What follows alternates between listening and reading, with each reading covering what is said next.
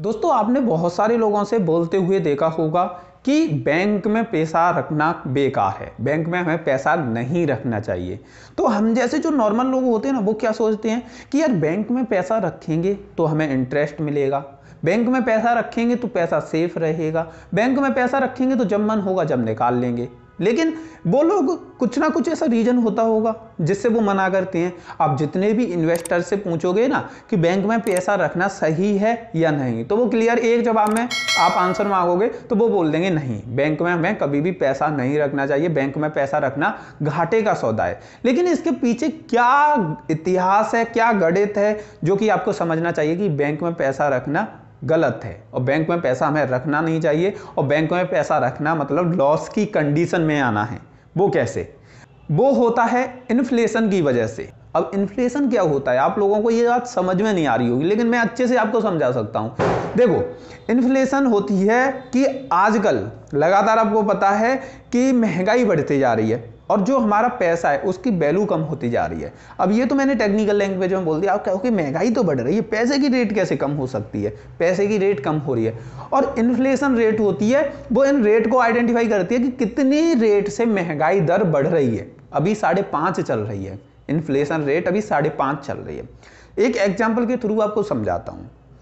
आज से कुछ टाइम पहले, आपके पिताजी के पास बीस रुपए थे। और उस टाइम पे आपके पिताजी बीस रुपए में एक किलो कोई सामान खरीद सकते थे। उदाहरण के लिए चीनी मान के चलते हैं कि आपके पिताजी उस टाइम पे बीस रुपए में एक किलो चीनी खरीद सकते थे। आज से अगर सात आठ साल पहले देखें तो चीनी की रेट यही थी। और अगर आपके पिताजी उन पैसों को रखे रहते हैं और उसके बाद आज आज जो करेंट डेट है आज की डेट में वो आपको पैसे देते हैं और बोलते हैं कि जाओ बेटा मार्केट से चीनी ले आओ। तो आज चीनी की रेट है चालीस। पैसे कितने हैं? बीस। तो बीस रुपए की आपको आधा किलो चीनी मिलेगी। लेकिन आपके पिताजी को उस टाइम पर उसी बीस रुपए से एक किलो चीनी मिल रही थी। तो आपके पिताजी क्या कहेंगे कि देख ले बेटा, हम अपने टाइम पर एक किलो चीनी ले सकते थे इससे, लेकिन आप बस आधा किलो लाई तो ऐसा हुआ क्यों भाई? अब हमें आधा किलो क्यों मिल रही है? पहले तो बीस में एक किलो मिल रही थी।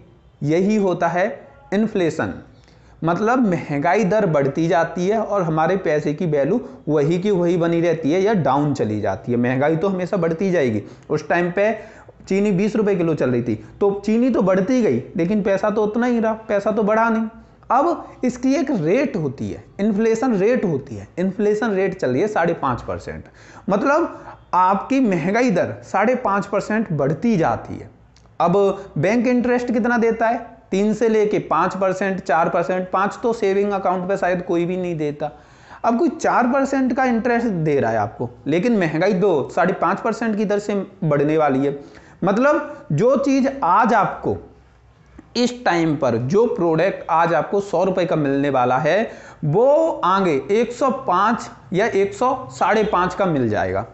लेकिन अगर आप उस सौ रुपए को बैंक में डालोगे तो बैंक तीन रुपए सैकड़े के हिसाब से ब्याज देगी तो वो रुपए 103 हो पाएँगे।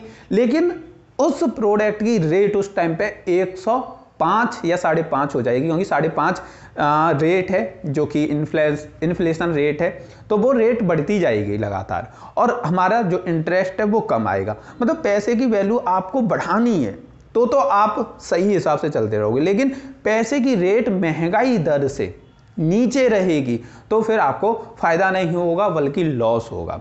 अब इसमें इन्फ्लेशन में बहुत सारे लोगों को बेनिफिट भी होता है। जैसे बिजनेसमैन होते हैं, उन्हें बेनिफिट होता है, क्योंकि उनके पास जो प्रोडक्ट होता है, उसकी रेट आगे हाई होती जाती है। वो सस्ते में खरीदते हैं, आगे बेचते हैं तो महँगे में बेच देते हैं तो उनको फ़ायदा हो जाता है। आज एक लाख रुपए का माल मंगाएँगे और वो आगे महँगा हुआ, वो रखे रहे तो उसके बाद उसे डेढ़ लाख का निकाल सकते हैं, एक लाख बीस हज़ार का, एक लाख तीस हज़ार का निकाल सकते हैं, क्योंकि महँगाई बढ़ती जाती है। अब इन्वेस्ट कम किया रिटर्न ज़्यादा मिल गया। ऐसे ही इन्वेस्टर का। इन्वेस्टर जो होते हैं, वो पैसा कम लगाते हैं, लेकिन फ्यूचर में उन्हें रिटर्न ज़्यादा मिल जाता है, ज़्यादा पैसा मिल जाता है। ऐसे ही किसान का जो फ़सल उगाई, अगर वो स्टॉक बना के रखता है तो आगे वो बेचेगा तो वो महँगी सेल होती है। तो इन लोगों के लिए तो बेनिफिशियल है।